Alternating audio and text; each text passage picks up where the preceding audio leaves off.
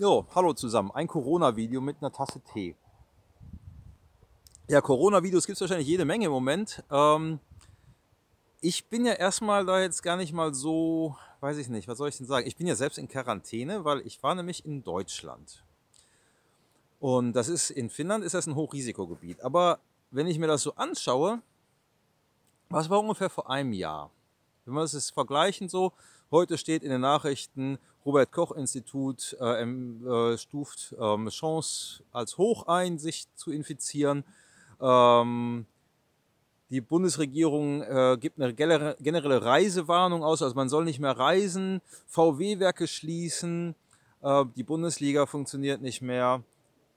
Unglaublich vieles passiert innerhalb von einem Jahr. Vor einem Jahr haben wir uns darüber aufgeregt, dass die Kids jeden Freitag vor die, äh, vor die Rathäuser gehen, auf die Straße gehen und sich für Leben in all seiner Vielfalt einsetzen. Ja, für, über das, für das eigene Überleben. Ja.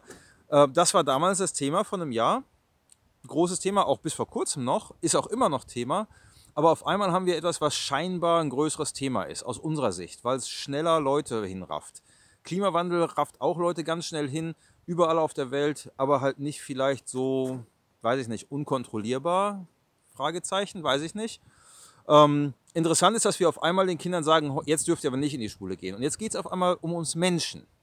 Na, weil das Virus betrifft hauptsächlich uns Menschen, zumindest soweit ich weiß. Klimawandel, wofür, das betrifft alle Arten oder generell das Artensterben auch. Und da war es nicht okay, dass die Kids auf die Straße gehen äh, oder nicht in die Schule gehen. Na? Also, und heute ist es okay, dass die Kinder alle nicht in die Schule gehen. Überhaupt nicht. Ich sage jetzt nicht, dass es falsch ist, dass die zu Hause bleiben sollen. Ich sage nur, dass damit zweierlei Maß gemessen wird. Und das ist nicht in Ordnung, denn wir brauchen ja die Arten, die wir gerade mit unserer Lebensweise ausrotten. Also wenn ich mir jetzt die ganze Corona-Geschichte mal ein bisschen von der anderen Seite angucke, oh, lecker Tee, ähm, dann ist das eigentlich gar nicht mal so schlimm. Denn wir müssen uns ja ändern. Diesen Stopp, den wir jetzt haben, diesen Einschnitt, dass nichts mehr funktioniert, den brauchten wir ja schon vor 20 Jahren. Dass man sagt, wir machen keinen Unsinn mehr. Also zum Beispiel Kreuzfahrten. Ja, es ist schön und gut, weiß ich nicht. Das ist ganz toll, dass man das sehen kann. Aber ist ja auch, da nimmt man sich auch ganz schön was raus. Äh, oder auch viele diese Ferienfliegerei oder, äh, oder Autos. Ne? VW macht die Tore zu jetzt hier wir haben sechs Überlebensprioritäten. Das eine ist Essen, Luft, Wasser, Gesundheit, Schutz, also Unterschlupf ähm, und dann Gemeinschaft. Mobilität gehört da nicht dazu. Wir haben Beine. Dafür sind die Beine ja da. Also überhaupt diese Denkweise auf Entfernungen und Geschwindigkeiten, die über, über ich sag mal, Muskelbetrieb hinausgehen, ähm, da sind wir ja schon an der Schwelle zur Nachhaltigkeit. Also es, es, kann ja nicht nachhaltig sein, mit Fahrzeugen durch die Gegend zu kutschen, die schwerer sind als wir selber und die ein Netzwerk brauchen, was von fossilen Energien und Ressourcen abhängt. Geht, kann nicht gehen, kann nicht gehen. Glauben wir aber. Und das wollen wir das jetzt retten, die Wirtschaft retten. Humbug. Sollten wir nicht tun. Wir sollten das als, als unglaubliche Chance sehen. Neuanfang. Den brauchen wir nämlich. Wir brauchen dringendst einen Neuanfang. Und zwar weg von dieser korrupten Wirtschaft, dem Kapitalismus, der unsere Demokratie nämlich verarscht. Und was wir auch machen sollten, ist, wir sollten auf keinen Fall jetzt irgendwelche Panikgeschichten machen. Haben wir nämlich gar keinen Grund zu. Ja, Haufen Klopapier kaufen die Leute. Über die Hälfte der Menschheit benutzt kein Klopapier. Überhaupt nicht. Weil nämlich Wasser viel sauberer ist, viel hygienischer. Und wenn man Wasser direkt benutzt, braucht man weniger Wasser. Hört sich komisch an, aber Klopapier in der Herstellung braucht ziemlich viel Wasser. Also, Wasser direkt benutzen, kein Klopapier, vor allem nicht auf Bunker kaufen. So ein Schwachsinn. Ähm, was ich auch sehr schön finde, was ich als unglaublich tolle Möglichkeit sehe, ist, dass wir jetzt alle zu Hause sind und mal Auszeit haben. Ungeplante Auszeit. Und wir können nicht mal wegfliegen. Denn das erlaubt uns, uns mal mit unserer Nachbarschaft wieder ein bisschen in, zu, in, zu, verbinden. Also jetzt gar nicht mal die anderen Menschen, von denen wir uns jetzt zwei Meter fernhalten sollen, sondern Verbindung zu den Leuten, die äh, zu, zu, anderen Tieren, zu anderen Pflanzen, äh, zu, zu, Pflanzen, zu, zur Natur generell. Ja, Verbindung, weil Naturverbindung ist das, was uns am meisten fehlt. Das ist die Medizin, die wir am meisten brauchen. Und was ich wirklich auch, ach, ich kann es mir gar nicht besser ausdrücken, was ich so mir wünsche, dass wir das alle tun, ist dieses Werkzeug nutzen. Stopp-Werkzeug. STOP. sit down, go on strike, stop what you're doing, thank, think, drink tea, observe. Ach, ich muss das auf Deutsch machen, stimmt ja. Also, hinsetzen, das ist, eine englische Abkürzung.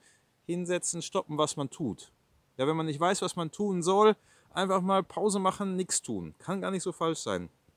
Ein Umfeld schaffen, dass man denken kann. T, think im Englischen, denken. Und auch danken für mich. Denn wenn man mit Dankbarkeit anfängt, wir haben so viel, für was wir dankbar sein können. Wir sind nämlich, wir haben nämlich ein Dach über dem Kopf. Wir haben nämlich vielleicht Essen irgendwo, was wir essen können. Das geht allen Menschen nicht so gut wie uns. Ja, und ganz vielen anderen Arten geht es noch viel dreckiger als uns Menschen. Darf man nicht vergessen. Also wir haben vieles, wofür wir dankbar sein müssen und können und sollten. Ähm, und Tee trinken vielleicht. Ja? Äh, o, orientieren. Welche Optionen haben wir? Welche Möglichkeiten haben wir? Und da haben wir unglaublich viele Möglichkeiten. Wenn ich zum Beispiel daran denke, was jetzt gerade jahreszeitmäßig in der Nordhalbkugel unterwegs ist, ist nämlich der Frühling. Und der Frühling ist ja so die Zeit, in der man im Garten sein sollte, in der man das Gewächshaus begrünt. Äh, ist ja wahrscheinlich schon ein bisschen alles im Gange, aber da kann man noch mit reinhüpfen. Ne? Und diese ganzen Rasenflächen, die ein Rasenmäher brauchen und sonst nicht genutzt werden, die, da sollte wahrscheinlich eine Permakultur wachsen. Na, wir müssen nämlich unser eigenes Essen anbauen. Ihr merkt jetzt gerade, wenn man sich die Panikkäufe anguckt, die Leute haben auf einmal Angst, was ist denn, wenn auf einmal das Essen jetzt auch wegfällt? Was ist, wenn auf einmal das Internet zusammenbricht oder wenn auf einmal kein Strom mehr da ist? wir sind so unglaublich abhängig von Systemen, die unglaublich zerstörerisch und unglaublich zerbrechlich sind und unglaublich komplex. Ja, sieht man jetzt ja auf einmal. Ne, da sieht man es dann. Ähm, welche Möglichkeiten haben wir? Wir haben unglaublich viele Möglichkeiten zu reduzieren, zu reparieren, ähm, zu wiederverwenden, recyceln, äh, sich wieder zu verbinden. Da haben wir unglaublich viele Möglichkeiten und, und einen riesigen Bedarf. Ja? Ähm, Resilience Hubs, ich stehe hier gerade in einem ganz jungen Resilience Hub in, ähm, im Osten von Finnland, also ein Ort, wo wir versuchen, so hoch wie möglich auf der Nachhaltigkeitsskala zu leben wie möglich. Ähm, also ich bin jetzt seit August lebe ich off-grid, mache meinen eigenen Strom, habe Wasser. Also es ist natürlich ein Luxus, aber das sind meine Möglichkeiten. Da muss jeder gucken, welche Möglichkeiten hat, habt ihr selber. Also welche Möglichkeiten hat man, seine sechs Überlebensprioritäten nachhaltig zu decken? Darum geht es bei dem O. Welche Möglichkeiten gibt es da? Und dann nimmt man sich Monatsschritte. Also jeden Monat einen Plan machen, deswegen immer am Vollmond. Das ist nämlich neutral und global.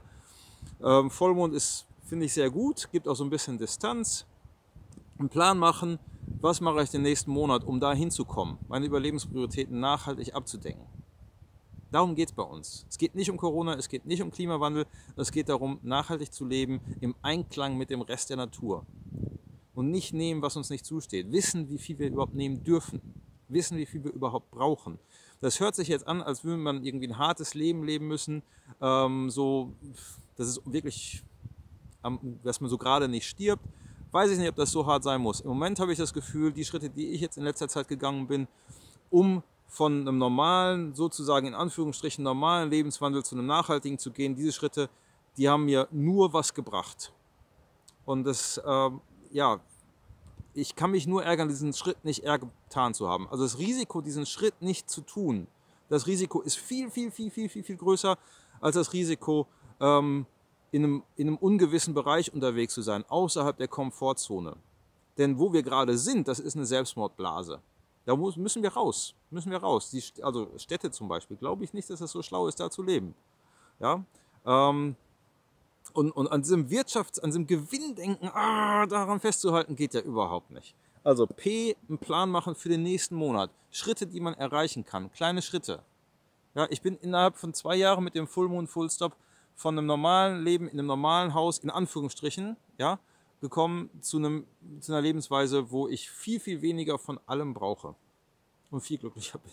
Ja, viel, viel, viel glücklicher bin. Ähm, und P, also echt positiv. Ja, in einer Überlebenssituation. Und wir haben eine Überlebenssituation. Nicht wegen Corona, nicht wegen Klimawandel, das sind alles nur Symptome. Wir haben eine Überlebenssituation aufgrund unserer nicht nachhaltigen Lebensweise. Und in einer Überlebenssituation muss man positiv sein, sollte man. Genau. Und nicht an sich denken, an alle denken.